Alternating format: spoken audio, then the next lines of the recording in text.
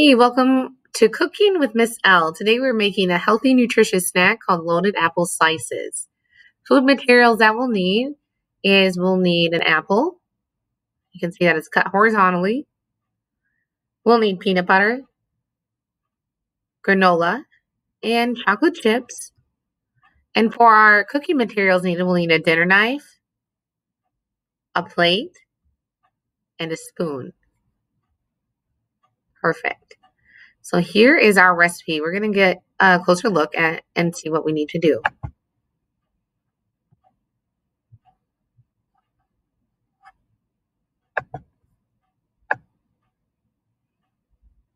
All right. Oh my gosh. We have our apple, and step one is cut it horizontally. Step two, we're going to dig out the cord. It goes super fast.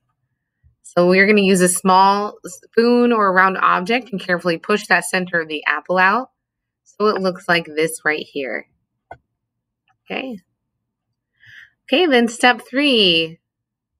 We're going to spread on the peanut butter. Dinner knife. All right, let's check it out. We have step four, put granola and chocolate chips on top of the peanut butter.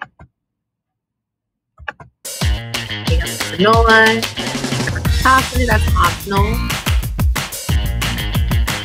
And here you have your little apple slices you can eat and enjoy.